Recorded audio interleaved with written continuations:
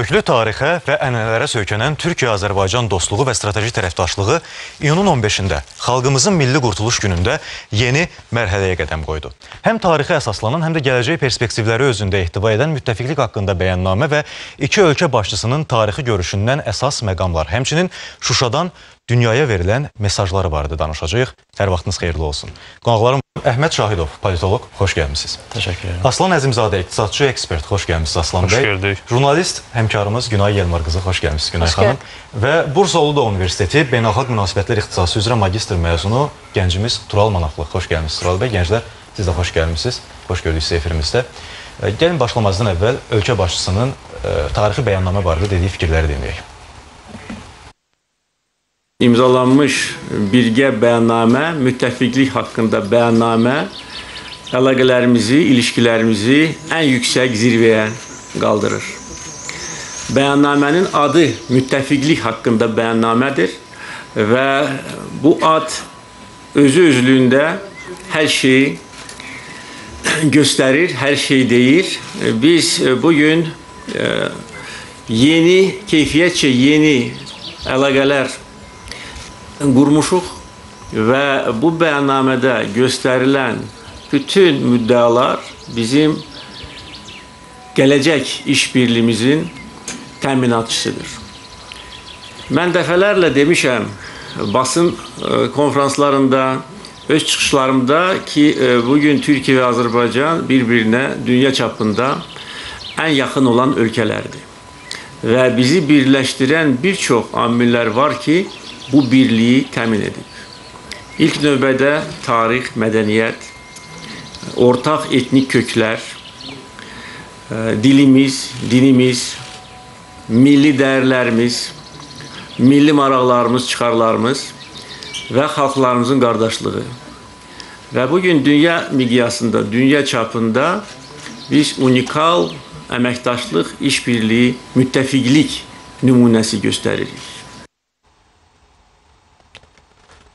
Bəli, Şuşada imzalanan tarixi bəyannamə tərəflərin 1921-ci il Qars müqaviləsinə sadiq olduğunu vurğulayaraq başlayır. Bu həqiqətdir, amma hər halda 100 illik bir dönəmə istinad etmək xüsusi bir strateji əhəmiyyət də daşıyırdı. Necə şərh edərsiniz Əhməd bəy?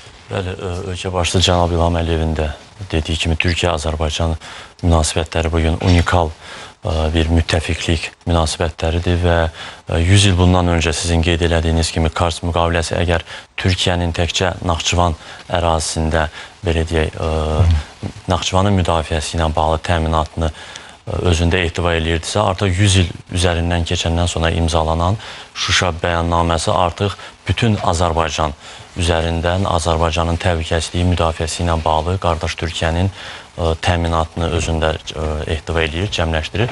Burada təkcə müdafiə məsələsi deyil, iki ölkənin həm milli təhlükəsizliyi, həm müdafiə, iqtisadi, siyasi, diaspora, media platforması və bütün həyatın bütün mümkün sahələrindəki əməkdaşlıq özünü əks etdirir və özəlliklə də bu günlərdə Şuşa bəyannaməsinin imzalanması iki ölkə arasındakı strateji müttəfiqliyin artıq yeni ə, formasiyaya keçidini ə, göstərməkdədir. Bu həm Azərbaycan və Türkiyə ə, xalqları arasında birlik və bərabərliyin göstəricisidir, həm də bir dünyaya mesajdır ki, bundan sonra Azərbaycan və Türkiyə ə, belə deyək, bir millət, iki dövlət ə, formasiyasından biraz da irəliyə gedərək artıq ə, bir platformada, bir güc olaraq hərəkət eləyəcəklər. Türkiyənin milli maraqları artıq Azərbaycanın milli maraqları deməkdir və Azərbaycanın da milli maraqlarına toxunan bütün məsələlər Türkiyənin də gündəmində olacaq mesajını təkcə Ermənistana deyil, deyil bütün dünyaya ə, çatdırmış oldu. Şuşa bəyannaməsinin ə, siyasi əhəmiyyəti həm də 44 günlük ə, müharibədən sonra təkcə regionda deyil, bütün dünyada yaranmış yeni geosiyasi maraqlar çərçivəsində də çox əhəmiyyətlidir. Burada təkcə iki ölkənin qardaşlığı, dostluğu, müttəfiqliyi deyil, həm də regional ölkələrin əməkdaşlığı üçün yeni şərtlər, yeni zəminlər yaradır. Çünki həm ə, Türkiyə ə, Respublikası ə, prezidenti, həm də Azərbaycan Respublikası prezidentinin Şuşada verdiyi açıqlamalarda Ermənistana və digər region ölkələrinə də yönəlik mesajlar var ki, altılıq platforma Bəli. deyilən bu formasiyada bütün region ölkələrinə ölkənin iştirakı zəruridir və bu bütün region ölkələrinin maraqları üçün. Həm də biz Türkiyə Cümhurbaşqanından bir çağırış da gördük qonşu dövlətlərə ki, Ermənistan. qələbəsini qəbul edilməli və ə, bu əməkdaşlığa bir qoşulunmalıdır. Yəni ə, bu barədə danışarıq. Ümumiyyətlə sənəddə toxunulan mövzulara ayrı-ayrı toxunarıq, amma indilik ümumi bir baxanda hər iki tərəf üçün bu sənəd hansı perspektivləri vəd edir iqtisadi cəhətdən? Buyurun.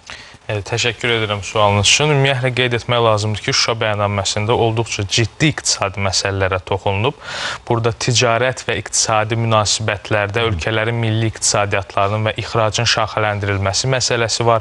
Perspektiv sahələrə e, birgə istehsalın yaradılması məsələsi var və e, investisiya sahəsində e, əməkdaşlıq üçün, qarşılıqlı faydalı əməkdaşlıq üçün daha əlverişli investisiya mühitinin yaradılması məsələləri də var. Təbii ki, bu gün ölkələrin iqtisadi inkişafını şərtləndirən əsas faktorlardan biri məhz investisiyadır.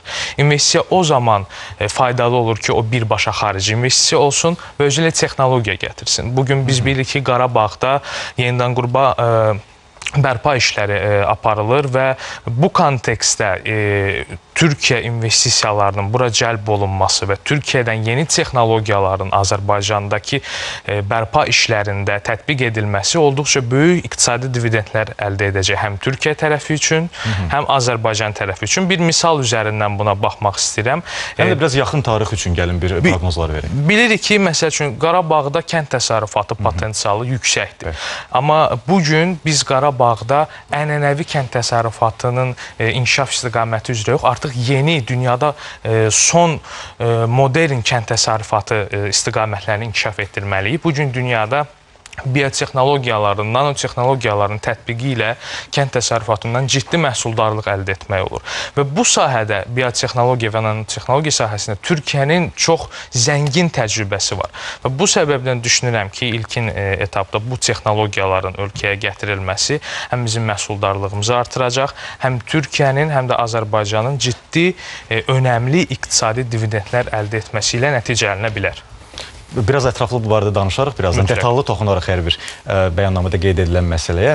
Ölk ə, Türkiyə prezidenti Rəcəb Tayyib Ərdoğan NATO sammitindən sonra Azərbaycana gəldi və ölkə başçısı cənab İlham Əliyevlə görüşdü. Ə, Bu görüşdə əslində dünyaya hansı mesajlar verildi sizin fikrinizcə? Sizin müşahidə ediniz. Buyurun. Təşəkkür edirəm. Ə, Şuşa zirvəsi deyir hər kəs bu görüşə. Əvvəla bütün parametrləri ilə çox tarixi bir səfərə və tarixi bir görüşə, zirvəyə şahidlik elədik və mən çox şadam ki, Türk dünyasının iki böyük liderinin Şuşa zirvəsində dövlət başçılarını müşahidə edən jurnalist qrupunun tərkibində mən də var idim. Əlbəttə mənim karyeramda çox əhəmiyyətli bir ə, məqamdır, zirvədir hətta. Həm də Yəni- insan həyatında çox maraqlı bir Əlbəttə, məqamdır. çünki ə, əvvəla bu Qarabağ savaşında bizim tarixi zəfərimizin simvolu olan Şuşada bu görüşün baş tutması özlüyündə bir tarixi hadisədir. Şuşa bizim baş tacımızdır. Şuşa bizim Qarabağ zəfərimizdəki qələbəmizin simvoludur və ə, əlbəttə ki, görüşün məhz Şuşada baş tutması ə, təsadüfi deyildi. Şuşadan Türk dünyasının iki böyük lideri bütün dünyaya sülh əməkdaşlıq ə, mesajları ötürdü ki, bu özü artıq çox böyük tarixi hadisədir. Üstəlik bu danışıqların yekunu olaraq ə, çox müttəfiqliklə bağlı Şuşa bəyannaməsi imzalandı ki, bu sənəd ə, siz də qeyd etdiniz ki, ə, 100 il əvvəl imzalanan tarixi Qars müqaviləsinə. bəli, Qars müqaviləsinə istinad edilirdi. Prezident İlham Əliyev də qeyd etdi ki, biz tarixi köklərə söykənərək yeni bir ə, sənəd imzalayırıq gələcəyə hesablanan. Bu gələcəyə atılan imza idi və mən çox istərdim ki, xüsusən gənclərimiz bu sənədin əhəmiyyətini ə, çox yaxşı ə, dərk etsinlər. Ümid edirəm ki, bu ifadə ə, yerinə düşər, bəlkə Bəli. yanlış səslənməz. Ona görə ki, bu bizim gənclərimizin, dövlətimizin gələcəyinə hesaplanan bir sənəddir. E, istər təhlükəsizlik olsun, e, istər bütün sahələrdə güclü e, dünya bundan sonra da güclü Azərbaycan görəcək öz qarşısında və bundan sonrakı gələcək təhdidlərin qarşısında güclü Azərbaycan və əlbəttə ki, Azərbaycan-Türkiyə müttəfiqliyi dayanacaq ki, bu özlüyündə tarixi bir hadisədir. Bu sənədin əhəmiyyətini əslində biz təxminən bir 50-100 il sonra onun mahiyyətini daha yaxşı dərk edəcəyik. O hansısa bir təhdidlər qarşısında o sənədin bizə verdiyi üstünlükləri görəndə, o sənədin gücünü hiss eləyəndə onda minnətdar olacağıq ki, nə yaxşı ki, e, bu sənəd vaxtında imzalanıb və bizim bir növ dövlətimizin müstəqilliyi bir daha möhkəmlənib, iqtisadi gücü bir daha möhkəmlənib, hərbi gücü bir daha möhkəmlənib ya bu əslində bizim gələcəyimizin bir qarantıdır. Və mən çox şadam ki, bir jurnalist kimi həmin o görüşdə iştirak elədim. Çox həyəcanlı e, anlar idi. Təsəvvür edirsiniz ki, Şuşa 30 ildən sonra bizim üçün əlçatmaz bir arzu idi ki, biz nə vaxtsa Şuşaya gedərik, amma biz Şuşaya getdik e, iki böyük liderin tarixi görüşünə şahidlik etmək üçün. Çox gözəl e, hazırlanmışdı. Şuşada da başqa bir canlanma var idi, başqa bir ab-hava var idi və çox möhtəşəm bir e, tarixi görüş baş tutdu. E, kadrları hamı izləyib və yəqin ki, hamı oradakı həyəcanı hiss eləyib, amma onu orada canlı yaşamaq ayrıca bir həyəcan idi. Mən sizin ə, əsa, ə, hisslərinizi və təəssüratlarınızı bir qədər sonra Məmnuniyyətlə bölüşəcəm. dərindən alacağam, öyrənəcəm. Bir gənclərlə bağlı bir məqama toxundunuz. Əslində Bəli. gəncsən verilişinin də amalı elə odur ki, gənclər maariflənsin bu Bəli, mən də mövzularda. fürsətdən istifadə edib bu verilişin mahiyyətinə, Mahiyyətinə görə gənclərə gənclərə çağırış elədim. Və bizim bir gəncimiz də. Tural Manaflı burdadır. Magistr məzunusunuz, savadlı bir gəncsiz. Siz necə müşahidə edirsiniz? Sizin də bir təəssüratlarınız var. Şuşa bəyannaməsi ilə bağlı söyləmək istərdim ki, əslində tarixi olaraq e, iki müqavilənin rəhbər tutur. Bu 1994-cü ildə olan hər tərəfli əməkdaşlıq və dostluq e, müqaviləsi idi ki, 9 fevralda baş tutmuş.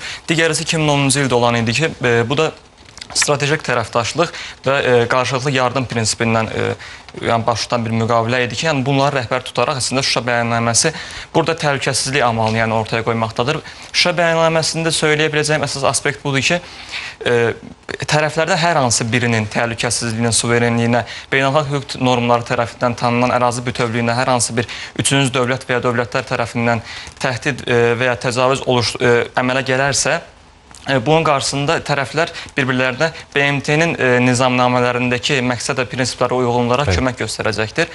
E, Bundan e, əlavə isə söyləyə bilərəm ki, xarici siyasətdə hər iki tərəf bir-biri ilə e, yüksək səviyyəli strateji e, əməkdaşlıq şurasında e, siyasi məsləhətləşmələr aparacaqdır.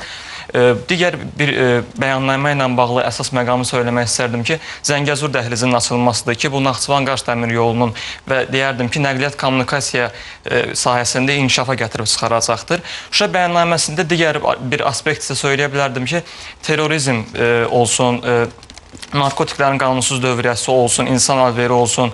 Yəni bu e, sahələrdə mübarizə aparmağa, birgə səy göstərməyə üstün tuturlar və digər kültürel e, aspektdən də söyləyə bilərəm ki, Türk dünyasının həmrəyliyini ortaya qoymaq üçün, yəni deyərdim Türk e, akademiyası olsun, Türksoy olsun, e, Türk e, dilli dövlətlərin əməkdaşlıq şurası kimi, yəni orada o çərçivədə e, birgə səylərin dünya mətbuatına çıxarılması, Türk mədəni irsinin dünya mətbuatında təşviq edilməsi, təbliğ edilməsi əsas prioritetlərdən biri olaraq e, göstərilə bilər. Bir də biz zaten gördüyümüz Bəli. kimi, yəni 44 günlük vətən müharibəsi zamanı da və ondan sonrakı indi diplomatik müstəvidə də, yəni Türkiyə hər zaman bizim yanımızdadır.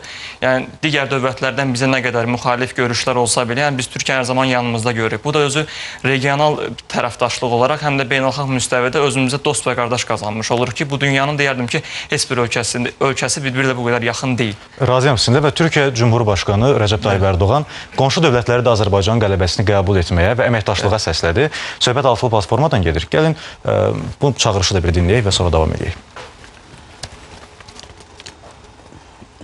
Türkiye olarak biz de coğrafi komşuluk ilişkilerimizi daha derin işbirliklerine yöneltmek istiyoruz. Ermenistan'ın kendisine uzatılan bu iyi niyet ve dayanışma elini tutmasını, ortak geleceği birlikte şekillendirme fırsatını iyi kullanmasını temenni ediyoruz. Altılı bir platform dedik. İşte bu altılı platformda bildiğiniz gibi Rusya, Türkiye, Azerbaycan, Ermenistan, Gürcistan ve İran. Ve bu altılı platformla birlikte artık istiyoruz ki bölge suhuletle, barış içerisinde yaşanan bir bölge olsun. Bu adımı atmak için biz kardeşimle beraber her türlü fedakarlığa varız. Sayın Putin aynı şekilde bu tür fedakarlıklara var ve bu konuda atılacak adımlarla bölge bir barış bölgesi haline gelmiş olur. Tabii bu tarihi fırsatın gerçekçi olmayan hevesler, söylemler ve eylemlerle kaçırılmaması en büyük dileğimizdir. Bölgedeki yeni statüye katkıda bulunmak isteyen herkesin nefret ve tahrik siyasetinden vazgeçerek barış ve işbirliğini teşvike yönelmesi şarttır. Böyle bir iklim oluştuğunda Ermenistan'la normalleşme için biz de üzerimize düşeni yapacağımızı her fırsatta söylüyoruz. Bu ümit verici sürecin Azerbaycan ile Ermenistan'ın imzaladıkları ateşkes anlaşmasını kapsamlı ve vizyoner bir barış anlaşmasıyla taşlandırmaları halinde çok daha sağlıklı yürüyeceğine inanıyoruz. Bəli, bölgə doğrudan da sülh bölgəsi olmalıdır və bu çağırış əslində qonşu dövlətlər üçün bir şansdır ki, bütün tərəflər buradan qazanclı çıxacaq.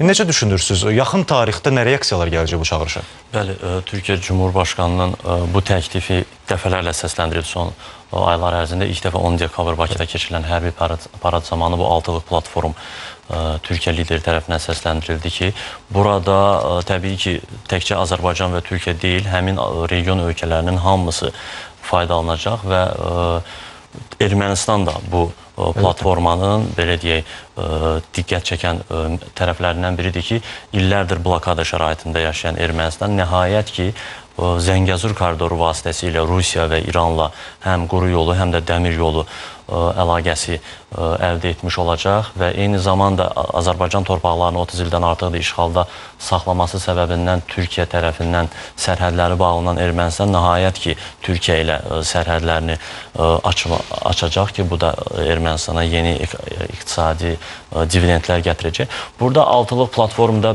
əsas bütün diqqət iki ölkəyə yönəlib ki, onları bir zəif bənd adlandırmaq olar ki, bunlar Ermənistan və Gürcüstandır. Çünki digər Rusiya, Türkiyə, Azərbaycan və İran artıq bu altılıq platformaya qoşulmaqla bağlı öz ə, siyasi iradəsini ortaya qoyublar. Amma Türkiyə liderinin də bildirdiyi kimi bu gün Ermənistanda bir ə, real olmayan çağırışlar var, revanşist çağırışlar var ki və bir neçə gündən sonra Ermənistanda Ermənistanda baş tutacaq parlament seçkiləri öncəsi erməni cəmiyyətinin belə deyək etimadını qazanmaq, səsini qazanmaq istəyən bütün siyasi qüvvələr ə, revanşist çağırışlarla ə, çıxış eləyirlər. Yenidən Azərbaycana qarşı müharibə təhdidləri səsləndirirlər. O torpaqları yenidən ə, zəbt etməklə bağlı, işğal etməklə bağlı vədlər verirlər ki, bu real deyil. Çünki Ermənistan ordusu cənab Ali Başkomandan İlham Əliyevin də bildirdiyi kimi 44 günlük müharibədə tamamilə dağıdılıb və bu 44 günlük müharibədə ən yaxın müttəfiqi gördüyü Rusiya belə Azərbaycan ərazi bütövlüyünü dəstəklədiyini açıq şəkildə bəyan elədi və həmin revanşist qüvvələrin ə, hakimiyyətə gələcəyi təqdirdə hərçənd ki, bu da real deyil, ə, heç bir ə, zəmin yoxdur ki, o torpaqları yenidən zəbt eləsin. İlk növbədə Ermənistanın ordusu yoxdur, ə, nə iqtisadiyyatı, nə ə, daxili ə, siyasi vəziyyət ə, imkan vermir ki, Məlum məsələdir. Siz müsbət bir reaksiya gözləyirsiniz yoxsa necə? O, Əgər Ermənistan tərəfi bu o, müsbət çağırışlara, o, bu belə deyək, əməkdaşlıq təkliflərinə müsbət yanaşsa, bu mümkün ola bilər ki, ə, ə, yeni siyasi qüvvələr daha sağlam proseslərə ə, gerçəkçi yanaşsalar, bu təbii ki, ilk növbədə Ermənistanın və erməni xalqının gələcəyi üçün ə, müsbət bir ə, addım olacaq. Sizlə davam edək. Mən ümumiyyətlə qeyd etmək istəyirəm ki, Ermənistanın bu altılıq platformasına qoşulmamaq kimi bir e, alternativi yoxdur. Yəni bu qoşulmalıdır bu platformaya. Çünki iqtisadi göstəricilər cəhətdən ümumiyyətlə Ermənistan iqtisadi göstəricilər ciddi e, böhran içərisindədir. Ermənistan özü bu dəqiqə böhran çəmbərləri ilə e, qarşı-qarşıyadır. Bu ölkə e, Vətən müharibəsindən öncə e, bir Ermənistan dramı 485 e, üzr istəyirəm, bir ABŞ dolları 485 Ermənistan dramına bərabərdir. Bu gün bir ABŞ dolları e, 520-dən e, və 520 və yük- yüksək dəyərdə Ermənistan dramına bərabərdir. Bu gün Ermənistan ümumdaxili məhsulunun həcmi Cənubi Qafqazın ən az ümumdaxili məhsulu həcmidir. 13 e, milyard dollara yaxındır ki, Azərbaycanda bu 48 milyard dollardır və ümumiyyətlə Ermənistanın burada alternativi yoxdur və Ermənistan bu platformaya qoşulmasa, o zaman Ermənistan ümumiyyətlə bir dövlət kimi var olub olmaması məsələsi ortaya çıxa bilər iqtisadi cəhətdən düşünürəm. Və e, Zəngəzur dəhlizi bu platformaya qoşulmağın ilkin etapıdır. Çünki e, Zəngəzur dəhlizi ümumiyyətlə çox önəmli bir dəhlizdir. Bu həm Türkiyədən olan əmtərlərin Orta Asiyaya e, tez bir zamanda keçməsini şərtləndirəcəkdir. Həm nəqliyyat xərclərini azaldacaqdır. Həm Azərbaycan burada e, tranzit ölkə kimi iqtisadi e, dividendlər əldə edəcək, həm Ermənistanın özünün Ermənistan bu gün demək olar ki, bütün transregional layihələrdən kənarda qalıb. Heç bir e, regiondakı mega layihələrdə Ermənistan iştirak etmir. Bu da onun iqtisadiyyatı üçün olduqca ciddi bir zərbədir və düşünürəm ki, Ermənistan yalnız yeganə yolu var bu altıq platformasına qoşulmaq. Düzdür, e, müəllim də qeyd etdi, hal-hazırda biz görürük orada müəyyən populist və revanşist fikirlər var ki, bu olmayacaq. Amma mən düşünürəm ki, bu e, yalnız seçkiyə qədərdir. Seçkidən sonra yəni heç bir alternativi olma, olmadığı üçün buna mütləq qoşulacaq. Hər halda daha rasional davranmalıdırlar. Bir mənalı olaraq. Sülh çağırışlarına necə deyirlər, adekvat reaksiya verməlidirlər, nəinki təxribatlar törətmək və s. Türkiyə ilə imzalanan bəyannamənin ən əhəmiyyətli tərəflərindən biri o idi ki, regiondakı bu çox tərəfli əməkdaşlıq üçün atılan ilk rəsmi addım idi də. Yəni necə düşünürsüz? Yəqin ki, bu sonrakı hadisələrin gedişatını sürətləndirəcək bir qədər. Mən bir məqama diqqət çəkmək istəyirəm. Yəqin ki, hamınız fikir vermisiniz sənədlərin imzalandırılması üçün seçilən fona.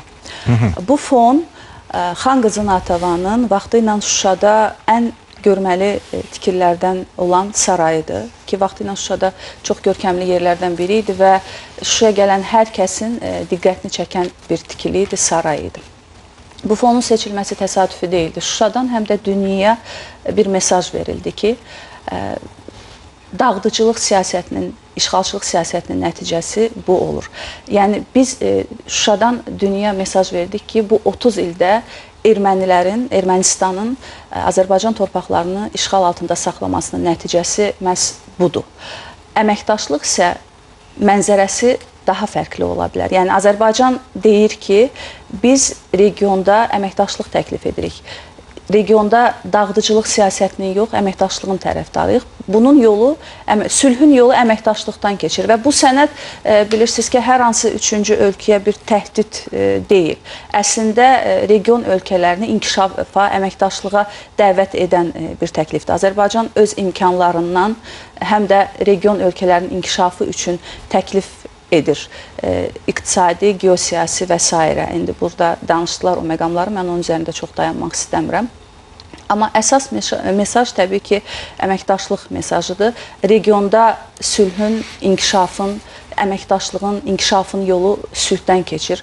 Dağıdıcı, işğalçılıq siyasətindən yox. Şuşadan dünyaya verilən əsas mesaj buydu. Təbii ki, müqavilənin bir çox məqamları çox böyük əhəmiyyət kəsb edir. Amma ümumi götürəndə sənədin mahiyyətində dayanan budur ki, bölgədə sülh olmalıdır. Sülh isə əməkdaşlıq və inkişaf deməkdir və özdə bu təkcə region üçün yox, təkcə türk dünyası üçün yox, bütün dünya üçün Bəli. önəmli bir me mesaj idi imzalanan sənəd. Ona görə ki, Azərbaycan regionun lider dövlətidir. Türk dünyasının çox böyük dövlətidir. Həm də eyni zamanda dünyada söz sahibi olan, çəkisi olan bir ölkədir. Dünyanın enerji təhlükəsizliyində xüsusi payı olan bir ölkədir. Ona görə e, bu əməkdaşlıq platforması həm də e, regionla bərabər dünyanın e, gələcək inkişafına, gələcək sülhə təminat verən bir sənəddir. Ona görə qeyd etdilər burada da dəyərli dostlarımız. Hı -hı. Ona görə də Ermənistan nə qədər tez e, bu e, siyasətindən əl çəkib əməkdaşlığa qoşulsa, sülhü e, qəbul etsə, o qədər sürətlə gedəcək bu inkişaf regionda. Və bir məqam qeyd edim. Mən bu günlərdə sosial şəbəkələrdə gördüm. Səhv etmirəmsə Ermənistanın keçmiş prezidentlərindən biri idi. O dedi ki, artıq Şuşa görüşündən sonra etiraf etmək lazımdır ki, Qarabağ Şuşa Azərbaycanın tarixi torpaqlarıdır. Dedi, indiki rəhbərlik bunu nə qədər tez dərk etsə, bir o qədər Ermənistan da uçurumun kənarından qayıda bilər tez. Biz erməni jurnalistlərdən də tez-tez bu, bu cür rəylər görürük. Mən sizin də hadisələrin sonraki gedişatı ilə bağlı fikirlərinizi almaq istəyirəm. Əslində bu bəyannamədə bir dənə vurğulanan bir e, nüans var ki, yəni burada olan hərbi siyasi əməkdaşlıq heç bir üçüncü dövlətə qarşı yönəlməmişdir. Hı -hı. Ermənistan burada yanlışı odur ki, yəni sırf işğalçılıq siyasəti yürüdərək, yəni bölgədəki ümumi sülhü, yəni bitirmək istəyir. Yəni sadəcə niyyəti budur, işğalçılıq aspektindən baxaraq. Amma onu da bilmək lazımdır ki, nə qədər regional tərəfdaşlıqda ölkələr bir yerdə olsa, o qədər beynəlxalq müstəvidə söz sahibi olacaqlar. Çünki bir regionda e, öz sözünü normal dərəcədə deyə bilməyən, sadəcə revanşist politikalarla özünü sərgiləyən bir dövlət heç vaxt beynəlxalq müstəvidə öz yerini tapa bilməyəcək. Müəyyən bir vaxta qədər ona yaxın duracaqlar, amma bunlar yəni demək olar ki, KTNT-ni ortaya atmaq istəyirlər hər dəfəsində müharibə vaxtı cəhdlər göstərərək. Yəni burada artıq elə bir vəziyyətdir ki, altılı platform elə bir vəziyyətdir ki, yəni sadəcə Rusiyadan da kömək alıb Rusiyaya güvənib e, siyasət yürütmək də mümkün bir şey deyildir. Yəni burada artıq regional tərəfdaşlarla birlikdə bir aspektə baxmaq lazımdır. Yəni konkret bir siyasət artıq mümkün bir şey deyil. Və təşəkkürlər fikirlərinizi bölüşdüyünüz üçün. Söhbət sırf Türkiyə-Azərbaycan əlaqələrinin möhkəmlənməsinə gəldikdə isə indi Türkiyədə Şuşada konsulluq açacaq və orada gedən tikinti işlərinə də ümumiyyətlə digər məsələlərə də daha yaxından müşahidə edəcək və s. Yəni Türkiyə-Azərbaycan münasibətlərindən yəni biraz danışaq. Türkiyə-Azərbaycan Yəni münasibətləri həmkarlarımın da bildirdiyi kimi dünyada ə, analoqu olmayan bir ə, münasibətlərdir. İstər ə, dünyadakı buna bənzər bəzi ə, müttəfiqliklər var, istər ə, Rusiya, Belarus olsun, İsrail, ABŞ, Böyük Britaniya, ABŞ, amma Türkiyə-Azərbaycan daha güclü, daha yeni müstəvidədir. Biz bunu ə, 44 günlük ə, Qarabağ müharibəsində, Böyük Vətən savaşında da gördük. Ə, Türkiyənin mənəvi, siyasi dəstəyini və işğaldan sonra Azərbaycanın ə, o torpaqlarında ə, rekonstruksiya, bərpa işlərində də qardaş Türkiyə şirkətləri və Türkiyə dövləti yaxından iştirak eləyir və bu Şuşa bəyannaməsi həm də bu iki ölkə arasındakı müttəfiqlik təkcə regional məsələlərdə deyil, dünya siyasətində də öz əksini tapacaq. Bu həm də Azərbaycan üzərinə böyük bir vəzifələr, məsuliyyət qoyur. Çünki burada təkcə Türkiyənin Azərbaycana dəstəyindən söhbət getmir, həm də Azərbaycanın Türkiyəyə ə, dəstəyindən söhbət gedir ki, ə, Türkiyənin milli məsələləri ilə bağlı, təhlükəsi ilə bağlı, müdafiə və digər ə, Türkiyə gündəmində olan məsələlərlə bağlı Azərbaycan dövləti də, Azərbaycan tərəfi də cəmiyyət olaraq istər diaspora, istər vətəndaş cəmiyyəti, media ə, platforması operativ reaksiya verməlidir və düşünürəm ki, Azər bu Azərbaycanı daha güclü edəcək. Azərbaycan indiyə qədər öz ə, boyutunda addımlar atırsa, bundan sonra daha geniş düşünməli və Türkiyə ə, boyda ə, dövlətin addımlarına uyğunlaşmalıdır. Yəni dünya siyasətində bilirsiniz önəmli yerə sahibdir Türkiyə və Türkiyəyə ə, qarşı ərazi iddiaları irəli sürən Türkiyəyə qarşı əsassız ə, soyqırım iddiaları var və dünya siyasətində Türkiyəni hədəf görən bəzi güclər, ölkələr var ki, həmin ölkələrə qarşı da Azərbaycan ə, Türkiyənin yanında yer almalıdır və bu baxımdan düşünürəm ki, Azərbaycanı dünya siyasətinə bir addım da ger, ə, irəli götürəcək ə, bu ə, bəyannamə və ə, həyatın bütün sahələrində, istər diaspora, istər media platforması, milli təhlükəsizlik məsələsi, xarici siyasət məsələlərində Azərbaycan artıq Türkiyənin də belə birlikdə addımlayacaq ki, bu Azərbaycanı artıq dünya siyasətində daha irəli götürə biləcək. Təşəkkür edirəm. Bizim Türkiyədən bir Skype bağlantımız var. İstanbul Ayvansaray Universitetindən Haticə Kərimova bağlanacaq. Onu eşidək. Hər vaxtınız xeyir Xaticə xanım. Xoş gördük sizi. Teşekkür ederiz. Biz bugün Gəncsən verilişində Türkiyə və Azərbaycan arasında bağlanan tarixi bir ə, sözləşmə barədə danışırıq. Mən sizin də bir rəylərinizi, fikirlərinizi almaq istəyərdim. Bilirəm ki, bələdsiniz ə, hadisələrə. Çok tarihi bir gün yaşadık. Ee, biz tarihçiler açısından bunun tabii ki ilerleyen zamanlarda e, bu nasıl desem size biraz ileriyi görmek lazımdır. E, tarihçiler de e, bunun değerlendirmesini yaparken bu tarihi anları değerlendirirken e, bu ilerideki e, meseleleri, bu ileri görüşlülüğü de değerlendirmeli. Şimdi biz Azerbaycan-Türkiye ilişkilerine baktığımızda bunu iki döneme ayırıyoruz. Özellikle o 44 gün süren Karabağ Savaşı öncesi ve sonrası olmak üzere iki döneme ayırıyoruz.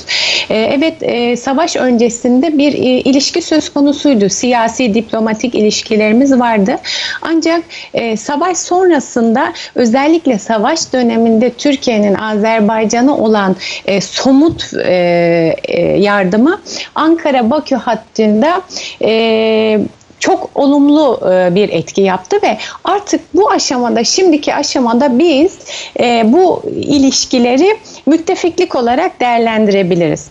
Şimdi şöyle ki bu e, coğrafya genel olarak coğrafyaya baktığımızda biz hep özellikle bağımsızlık sürecinden sonra işte iki devlet bir millet şiarının siyasete yansımasını uzun bir süre gözledik ve e, 2021 yılına herhalde nasipmiş bu. Özellikle imzalanan e, beyannamede biz bu şiarın gerçek sonuçlarını görüyoruz ve e, çok mutlu oluyoruz.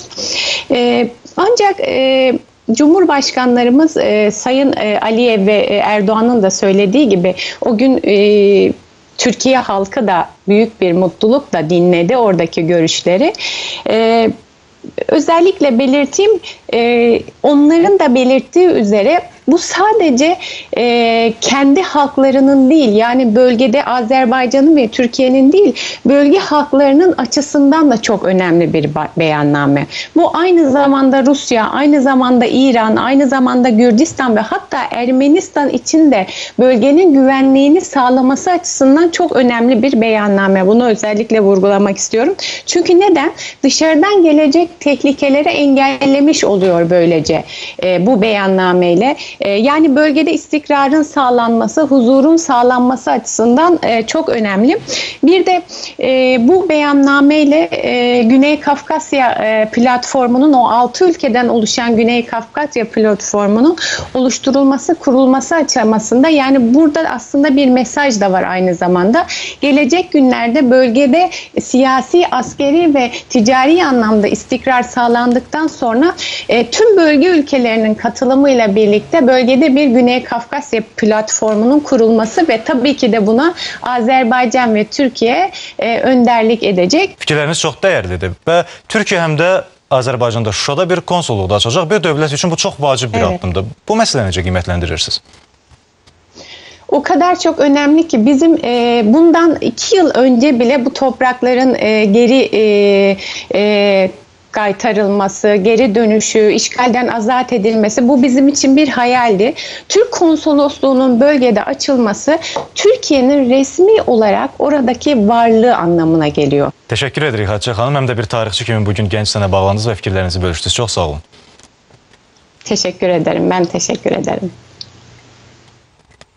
Və, və bəyannamədə, bayaqdan haqqında danışdığımız tarixi bəyannamədə hansı məsələlər öz əksini tapır? Cənab Prezidentin çıxışını dinləyək və ardınca davam edək. Bəyannamədə bir çox önəmli məsələlər öz əksini tapır. Beynəlxalq müstəvidə birgə əməkdaşlığımız, fəaliyyətimiz, ə, siyasi əlaqələr, iqtisadi, ticarət əlaqələri, ə, mədəniyyət, təhsil, idman, ə, gənclər siyasəti, demək olar ki, bütün sahələr əhatə olunur. Enerji təhlükəsizliyi, Cənub qaz dəhlizinin önəmi Türkiyə, Azərbaycan üçün, Avropa üçün göstərilir. Və ə, hər bir məsələ çox böyük önəm daşıyır. Mən onların arasında iki məsələni xüsusilə qeyd etmək istərdim.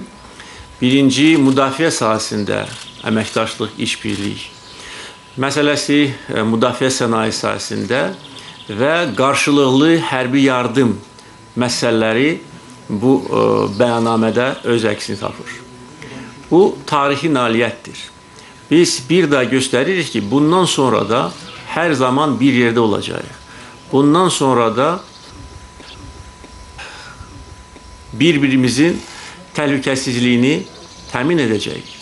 Necə ki, bugünə qədər Türkiyə və Azərbaycan bütün məsələlərdə bir yerdədir.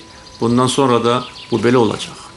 İkinci önəmli məsələ, önəmli məsələlərin arasında nəqliyyat ulaşdırma məsələsidir və bəyannamədə Zəngəzur koridorunun, Zəngəzur dəhlizinin açılması ilə bağlı çox açıq ifadələr öz əksini tapmışdır. Bu da 2-ci Qarabağ savaşından sonra yaranmış yeni geosiyasi vəziyyətin nəticəsidir. Bu gün biz Türkiyəni və Azərbaycanı dəmir yolu ilə, avtomobil ə, yolu ilə birləşdirəcək Zəngəzur dəhlizi haqqında nəinki danışırıq, biz əməli praktiki işlərlə bu dəhlizi, bu koridoru yaradırıq. Və müttəfiqlik haqqında ə, imzalanmış birgə bəyannamədə bu məsələnin ə, əks olunması böyük məna daşıyır. Bəli, Türkiyə və Azərbaycan tarixən həmişə əməkdaşlıq edib, amma sözügedən bəyannamədə əslində əsas nəzərə çarpan məqam qarşılıqlı hərbi yardım məsələsidir. Bu bir, bir daha bu məsələni vurğulamaq lazımdır və necə şərh eləyərsiniz? Bəli, ilk növbədə bu Şuşa bəyannaməsində diqqətə ə, gələn məqamlardan biri müdafiə və milli Evet. təhlükəsizlik məsələsidir. Türkiyə və Azərbaycan arasında müdafiə hərbi əməkdaşlıq sahəsində uzun illərdir ki, ə, çox güclü və effektiv əməkdaşlıq var və NATO üzvü olan Türkiyənin təcrübəsindən yararlanmaq Azərbaycan üçün çox önəmli idi və bu öz effekt, effektini də 44 günlük müharibədə göstərdi və eyni zamanda Türkiyə hərbi sənayesinin müasir ə, silahlarından istifadə edərək etməsi də Azərbaycanın bir ə, uğuru idi ki, bu ə, Qarabağ müharibəsində Azərbaycanın qələbəsi ilə nəticələndi. Bundan sonra da bilirsiniz, cənab prezidentin bildirdiyi kimi də yeni geosiyasi ə, mühit formalaşır və bundan sonra da iki ölkə ə, müdafiə ə, qurumları, müdafiə sənayesi ə, sistemi arasında əməkdaşlıq və Türkiyənin o müdafiə ə, sənayesi ə, quruluşlarının Azərbaycanda istehsalı da ki ə, müzakirə edilir və Bəli, pilotsuz uçan aparatlar artıq Azərbaycanda təsadüfi deyil ki, həmin o Baykar ə, şirkətinin təsisçilərindən olan ə, Bayraktar ə, ölkə başçısı tərəfindən Qarabağ ə, medalı ilə təltif edilib. Bu iki ölkə arasında hərbi əməkdaşlığın bundan sonra yeni səviyyəyə götürüləcəyindən xəbər verir və iki ölkə arasında həm hərbi təlimlərin, ortaq tətbiqatların gerçəkləşməsi, həm hərbi müdafiə sənayesi sahəsində əməkdaşlıq və milli təhlükəsizlik şuraları arasında da bilgi əməkdaşlığı öz əksini tapır ki, düşünürəm ki, bu Azərbaycanın hərbi qüdrətini bundan sonra artıracaq. Bəli, Sizin də bir şərhinizi alım.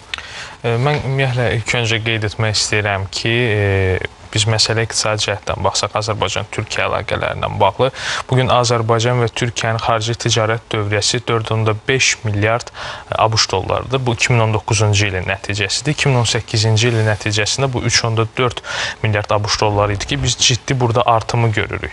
E, və bu gün Türkiyə Azərbaycandan mühüm növ e, məhsulları ixal edir. Azərbaycan Türkiyəyə mühüm növ məhsulları ixrac edir. Bura xam neft aiddir, bura təbii qaz aiddir, bura e, radioaktiv e, reaktiv mühərriklər üçün kerosin və s. digər e, əmtələr daxildir.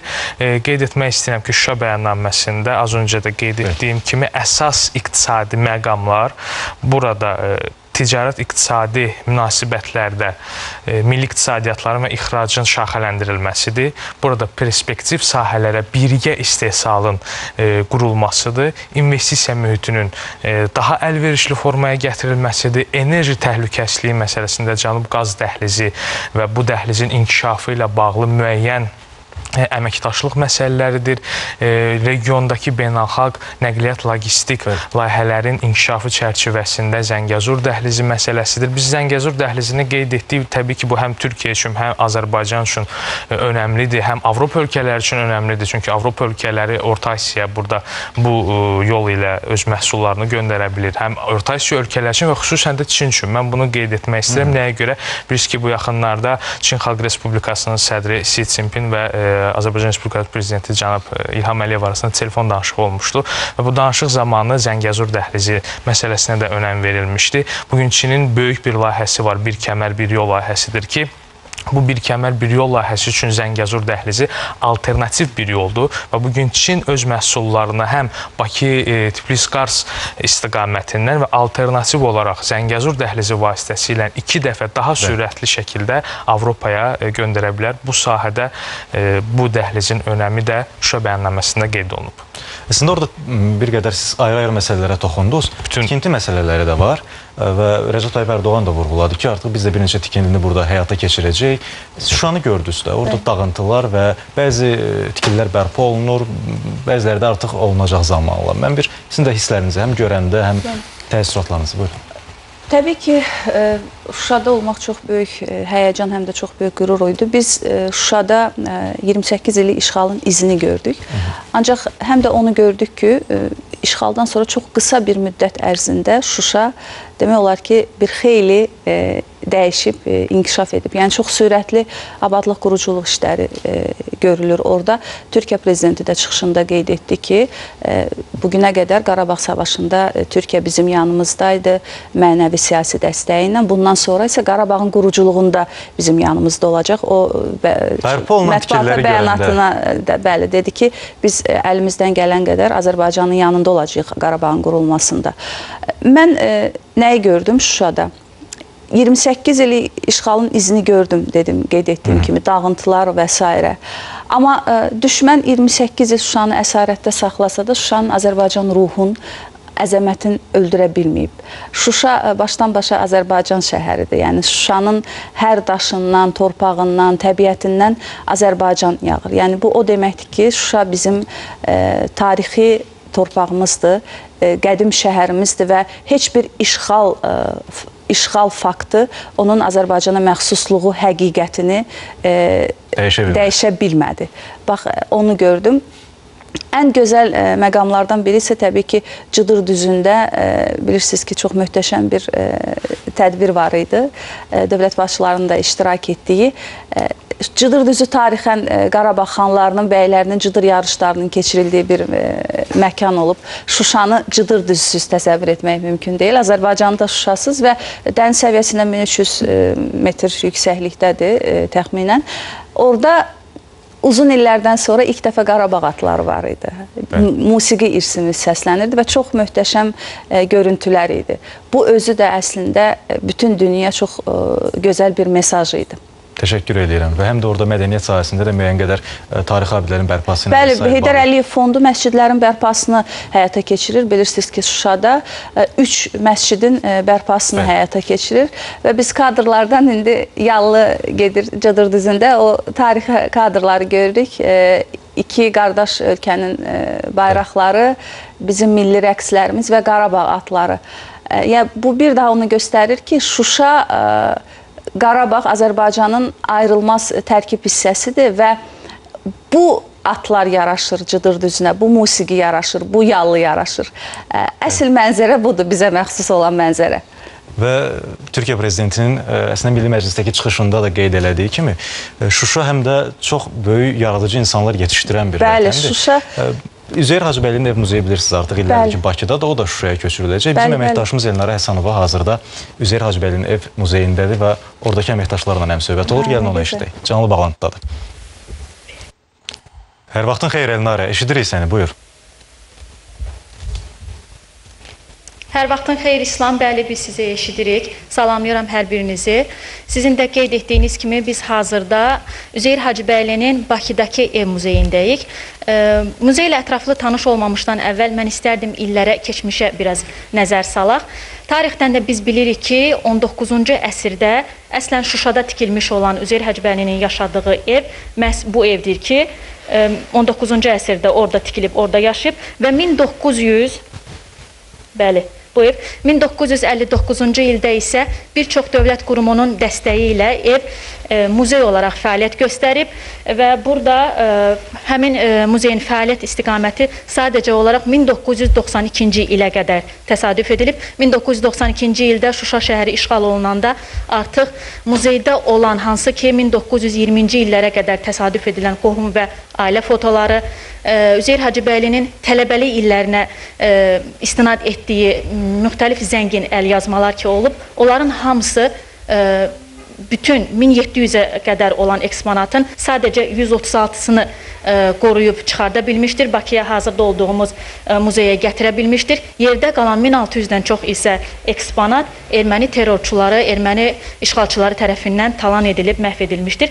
Biz hazırda e, muzeydə Şuşadan həmin o işğal ərəfəsində gətirilmiş olan eksponatlar haqqında ətraflı məlumatı və ümumiyyətcə muzeyin fəaliyyət istiqamətləri haqqında mərkəzin direktoru Nəsbə xanım Eyvazlıdan e, biz e, öyrənəcəyik. Nəsbə xanım, xoş gördük sizi. Salam, mən sizə Şuşa Üzeyir Hacıbəyevin ev muzeyinin kollektivi adımla hamınızı salamlayıram.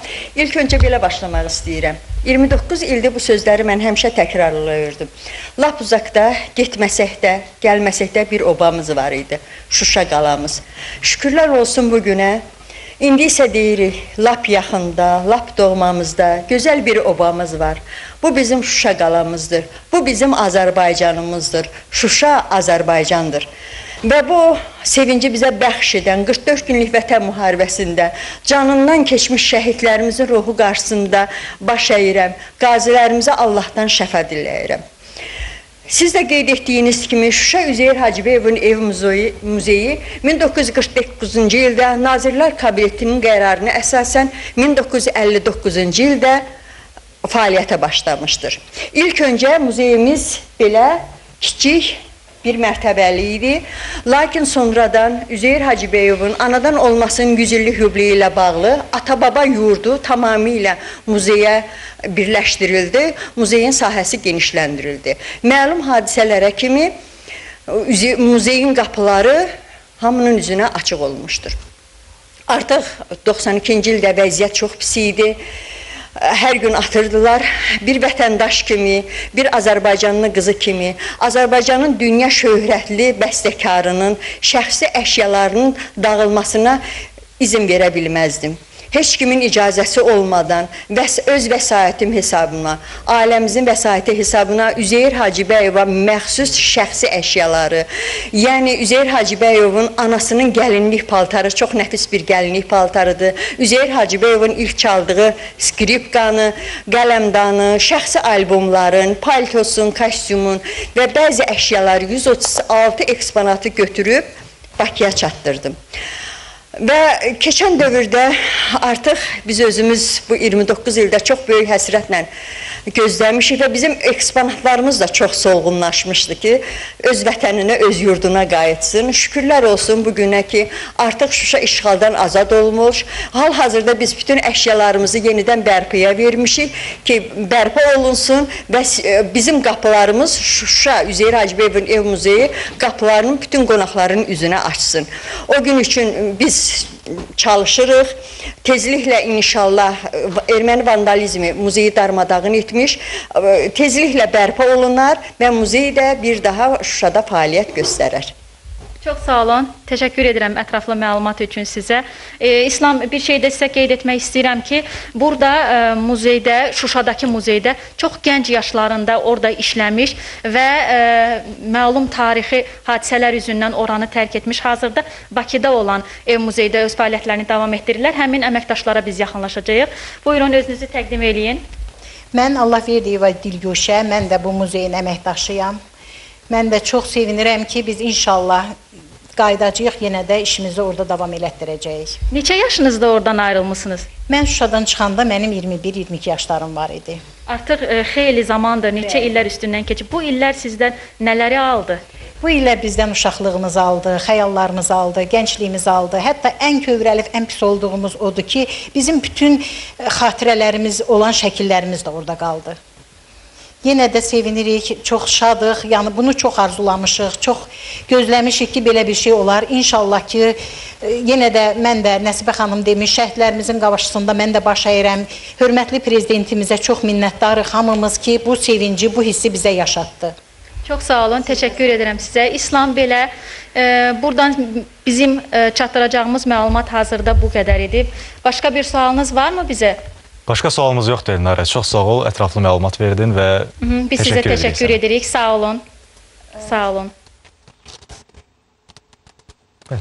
Siz qeyd etdiniz, e, indi Üzeyir Hacıbəylinin ev muzeyi yəqin ki, çox qısa e, müddətdə öz tarixi ünvanında ziyarətçiləri qəbul edəcək. Orada bilirsiniz ki, Bülbülün də ev muzeyi var, onda da e, təmir bərpa işləri aparılır.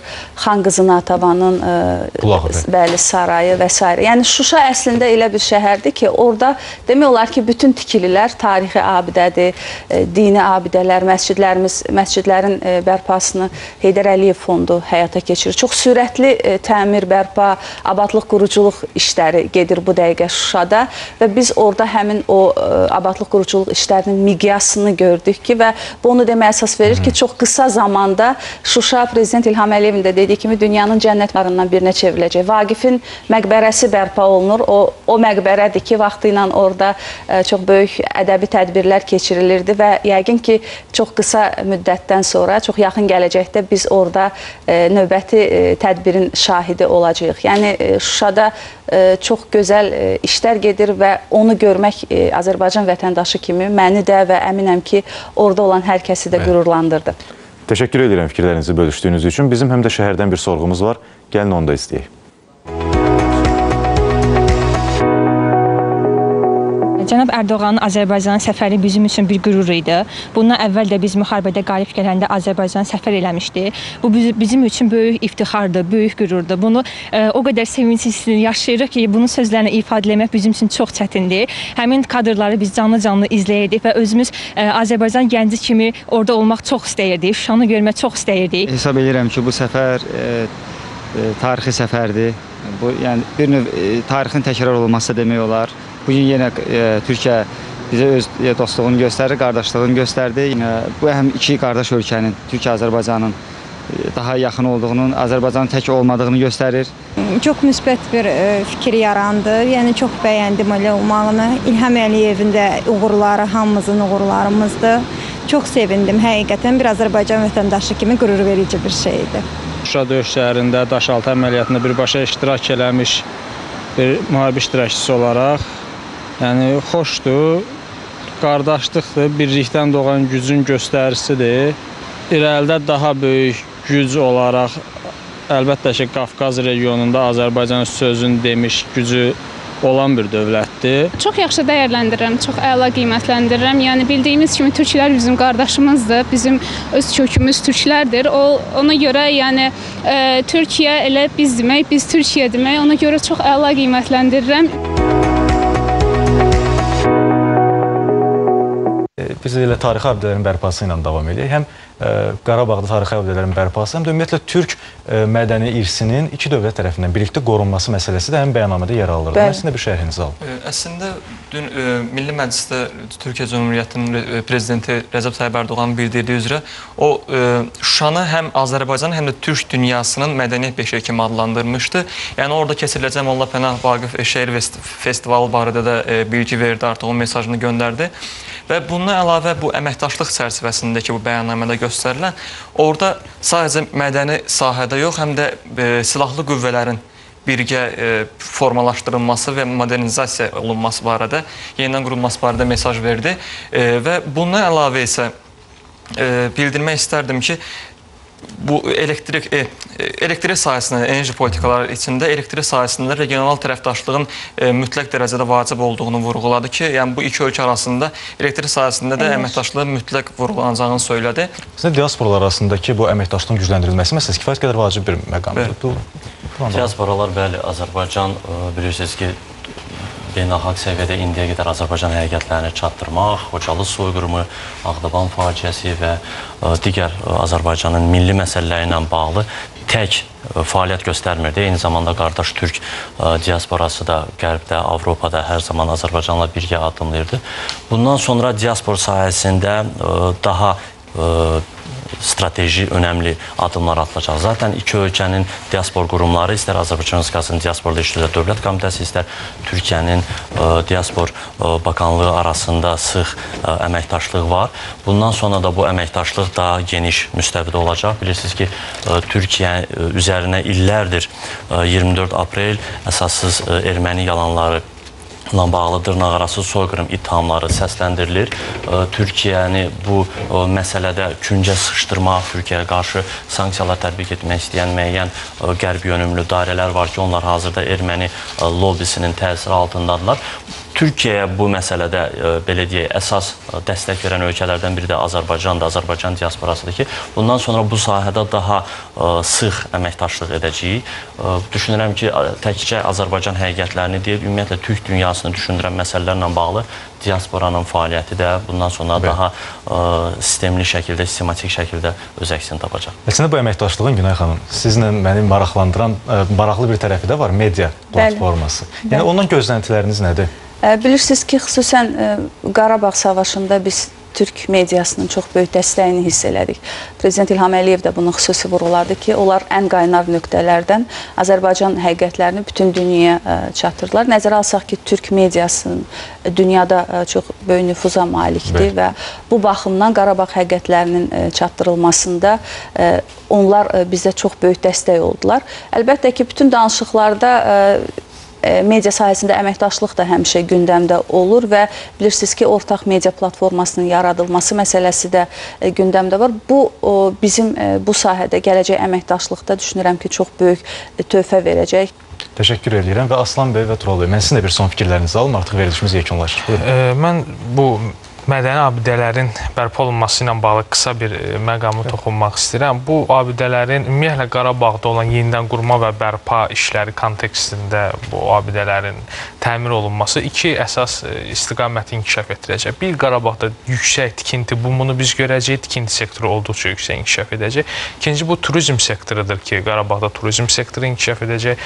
Xudafərin körpüsü olsun, e, orada Gövhərağa məscidləri olsun, o qədər zəngin Azıq mağarası olsun ki, ilk yaşayış məskənlərindən biridir. Bu ciddi həm yerli, həm e, xarici e, turistlərin cəlb edilməsi ilə nəticələnəcəkdir. Mən də tez bir zamanda ora Artıq getmək Qarabağ üzrə turizm marşrutları müəyyənləşdirilir. Nə gözəl. Yəni tarix kitablarından gördüyümüz Xudafərin körpüsünü, Azıq mağarasını canlı gözlə e, görməyi e, nəsib edəcəyinə Allahın inanıram. İnanırıq və inşallah da elə olacaq. Buyurun. Söyləmək istərdim ki, e, Türkiyənin əsas tikinti şirkətlərinin bizə köməyi üstünlük yəni görünür. Yəni digər xarici şirkətlərin də bura e, cəlb olunması və deyərdim ki, bu bəyannamənin özündə imzalanması, yəni bu turizm e, həm daha irəli səviyyəyə keçməsi və təhlükəsizlik baxımından da kənar müdaxilələrin daha minimum səviyyəyə endirilməsi Qarabağın inkişafına verəcək. töhfə verəcəkdir. Təşəkkür edirəm və Əhməd bəy, Aslan bəy, Günay xanım və Tural bəy, təşəkkür edirəm ki, bu gün Gənc Sən verilişinin qonağı idiniz. Çox maraqlı müzakirə oldu, hörmətli tamaşaçılar. Bu həftəlik bu qədər idi. Növbəti həftə yenidən daha da maraqlı, daha da aktual mövzularla görüşünüzə gələcəyik. Sağ olun, gənc qalın.